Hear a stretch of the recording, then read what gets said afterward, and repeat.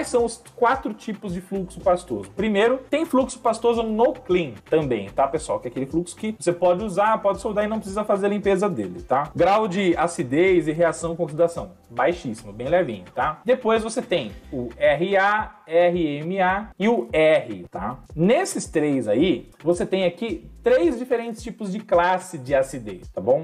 Beleza? Entre eles, o R e o RA são os dois que você tem necessidade de limpeza de oxidação brutal. É, você só vai usar o R e o RA quando o seu terminal do componente ou a placa tiver com nível de oxidação pesadíssimo, tá bom? Por quê? Porque é, se ficarem resíduos desse fluxo pastoso na sua placa, ele pode vir a deteriorar também o funcionamento da sua placa eletrônica, até porque ele tem propriedade levemente ácida. Então o que, que acontece? Obrigatoriamente você vai ter que fazer a limpeza limpeza, a limpeza da sua placa eletrônica com álcool isopropílico.